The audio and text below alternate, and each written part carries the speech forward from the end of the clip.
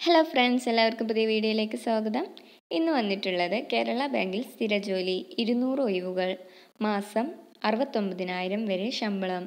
Kerala bank assistant manager recruitment two thousand twenty three എന്ന recruitment നിങ്ങളിലേക്ക് എത്തിക്കാൻ വേണ്ടിയാണ്. വീഡിയോയിലേക്ക് പോകുന്നതിന് മുന്നായി നിങ്ങൾ ഈ ചാനൽ ആദ്യമായിട്ടാണ് കാണുന്നതെങ്കിൽ ചാനൽ സബ്സ്ക്രൈബ് ചെയ്യുക നിങ്ങളുടെ ഫ്രണ്ട്സിലേക്ക് മാക്സിമം ഷെയർ ചെയ്യുക. വീഡിയോയിലേക്ക് നോക്കാം. കേരള ബാങ്കിൽ നല്ല ശമ്പളത്തിൽ ജോലി നേടാൻ ആഗ്രഹിക്കുന്നവർക്ക് സുവർണാവസരം. Kerala state cooperative bank limited ഇപ്പോൾ അസിസ്റ്റന്റ് മാനേജർ തസ്തികയിലേക്ക് നിയമനം നടത്തുന്നതിന് വേണ്ടി കേരള പബ്ലിക് സർവീസ് കമ്മീഷൻ വൈ യോഗ്യരായ ഉദ്യോഗാർത്ഥികളിൽ നിന്നും അപേക്ഷ ക്ഷണിച്ചു. ഡിഗ്രി എം ബി എ യോഗ്യതയുള്ളവർക്ക് അസിസ്റ്റന്റ് മാനേജർ മാനേജർ തസ്തികയിൽ മൊത്തം ഇരുന്നൂറ് ഒഴിവുകളിലേക്ക് ഉദ്യോഗാർത്ഥികൾക്ക് ഓൺലൈനായി കേരള പി എസ് സിയുടെ വൺ ടൈം പ്രൊഫൈൽ വഴി ഉദ്യോഗാർത്ഥികൾക്ക് അപേക്ഷിക്കാം. നല്ല ശമ്പളത്തിൽ കേരള സർക്കാരിന്റെ കീഴിൽ കേരള ബാങ്കിൽ ജോലി ആഗ്രഹിക്കുന്നവർക്ക് ഈ അവസരം ഉപയോഗപ്പെടുത്താം. ഈ ജോലിക്ക് ഓൺലൈനായി രണ്ടായിരത്തി ഇരുപത്തി മൂന്ന് ഒക്ടോബർ മുപ്പത് മുതൽ രണ്ടായിരത്തി ഇരുപത്തി മൂന്ന് നവംബർ ഇരുപത്തി ഒമ്പത് വരെ അപേക്ഷിക്കാം. ഇതിലേക്ക് അപേക്ഷ ഫീസ് ഇല്ല. മറ്റു ഡീറ്റെയിൽസ് എന്തൊക്കെയാണെന്ന് നോക്കാം. സ്ഥാപനത്തിന്റെ പേര്. Kerala state cooperative bank limited ജോലിയുടെ സ്വഭാവം Kerala government. Recruitment type direct recruitment category number category number നാനൂറ്റി മുപ്പത്തി മൂന്ന് രണ്ടായിരത്തി ഇരുപത്തി മൂന്ന് തസ്തികയുടെ പേര് അസിസ്റ്റന്റ് മാനേജർ ഒഴിവുകളുടെ എണ്ണം ഇരുന്നൂറ്. Job location all over Kerala.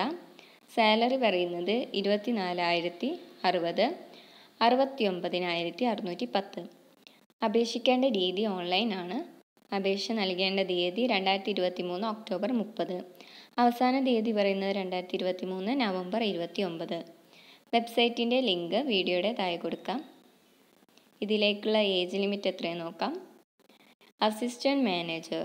Age limit പറയുന്നത് eighteen to twenty eight years ആണ് ഇതിലേക്കുള്ള ഏജ് ലിമിറ്റ്. ഇതിലേക്കുള്ള ക്വാളിഫിക്കേഷൻ പറയുന്നത് ഗ്രാജുവേറ്റ് ആയിരിക്കണം M B A A C A A C M A A C S B S C ഇതിലേക്ക് എങ്ങനെ അപേക്ഷിക്കാം? ഉദ്യോഗാർത്ഥികൾ കേരള പബ്ലിക് സർവീസ് കമ്മീഷന്റെ ഔദ്യോഗിക വെബ്സൈറ്റായ W W W dot Kerala P S C dot government dot in Y ഒറ്റത്തവണ registration പ്രകാരം register ചെയ്ത ശേഷമാണ് അപേക്ഷിക്കേണ്ടത്. രജിസ്റ്റർ ചെയ്തിട്ടുള്ള ഉദ്യോഗാർത്ഥികൾ അവരുടെ യൂസർ ഐ ഡിയും പാസ്വേഡും ഉപയോഗിച്ച് ലോഗിൻ ചെയ്ത ശേഷം സ്വന്തം പ്രൊഫൈലിലൂടെ അപേക്ഷിക്കേണ്ടതാണ്.